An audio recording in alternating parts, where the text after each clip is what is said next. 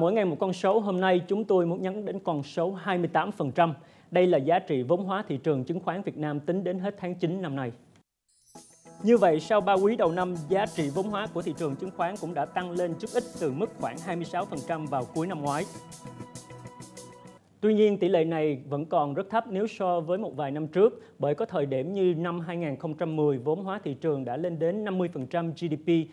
Để tăng giá trị vốn hóa trên GDP thì cần có nhiều doanh nghiệp niêm yết hơn nữa, đặc biệt là các doanh nghiệp lớn. Hiện tại, lượng doanh nghiệp niêm yết mới chỉ chiếm khoảng 12% tổng số lượng các doanh nghiệp cổ phần trên cả nước. Sau đây là một thông tin khá quan trọng. Nếu so với nhiều nền kinh tế phát triển như Mỹ, Hồng Kông hay thậm chí một số nước trong khu vực như Malaysia, Singapore và Thái Lan, thì vốn hóa thị trường chứng khoán Việt Nam vẫn còn rất nhỏ bé so với GDP. Nhưng liệu có phải tỷ lệ vốn hóa càng lớn thì mới chứng tỏ tầm phát triển của một nền kinh tế tài chính? Về cơ bản lý thuyết này là đúng về dài hạn, nhưng trong ngắn hạn thì đây là một quan điểm chưa đầy đủ. Cái việc đó thì thấy rất là đúng. Lý do là thị trường chứng khoán là cho cái vốn dài hạn thành ra nếu mà thị trường chứng khoán tăng lên so sánh với cái phần trăm của GDP hiện tại bây giờ Việt Nam mình từ 50% mà xuống còn 28 á, là một cái việc là một số nhà đầu tư thấy rất là uh, cho khó khăn.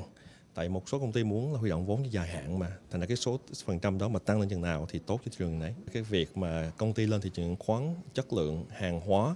và bao nhiêu cổ phần để ra công chúng mấy cái việc rất là nhiều nó ảnh hưởng với nhau ví dụ như bây giờ một số công ty rất là lớn như PV Gas này nọ thì một số uh, cổ phiếu mà bán ra ngoài thì rất là ít. Thành ra một số công ty lớn đứng đầu cái ngành của mình mà lên thị trường chứng khoán thì lúc đó mình mới nâng lên cái chất lượng của sản phẩm trên thị trường chứng khoán. Chứ nếu mà bây giờ mà không có một số công ty mà cổ phần hóa nhất là công ty lớn đứng đầu như là ví dụ như Mobifone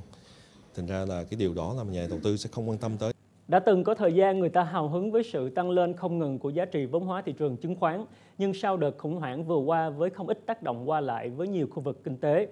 các nhà quản lý đã nghĩ rằng Việt Nam cần một thị trường chứng khoán với hệ thống dây cương luật pháp đủ chắc chứ không phải cứ phi nước đại theo mục tiêu gia tăng mức vốn hóa. Chỉ tiêu mà vốn hóa thị trường là một cái chỉ tiêu về mặt quy mô, nó chưa phải là một cái chỉ tiêu thể hiện về mặt chất lượng. Do vậy cho nên là um,